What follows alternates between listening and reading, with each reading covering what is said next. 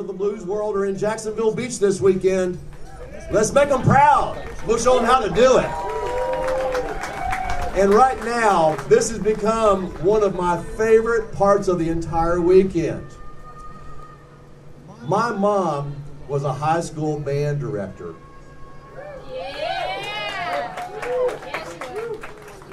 Without music and art, what are we as a society? We're just part of the machine then, aren't we? These kids are awesome to be around. Their talent is so great. And they are so fortunate to have a great educational system here at the beaches and to have Jonathan Maerkl as their teacher.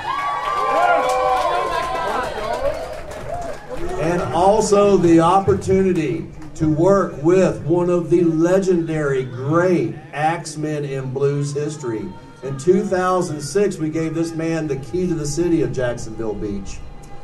A person I have great respect for. For these young folks to be influenced and be around, Roger Hurricane Wilson is just an amazing thing and an awesome opportunity. I, I just got to tell you, um, I, I'm ready to introduce them. I also want you to know they have a CD for sale over here for $10 that will go to do good things.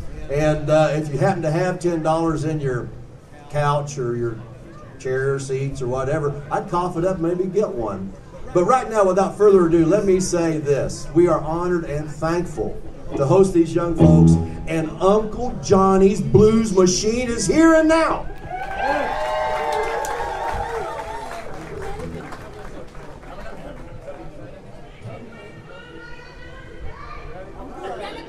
Have a good evening.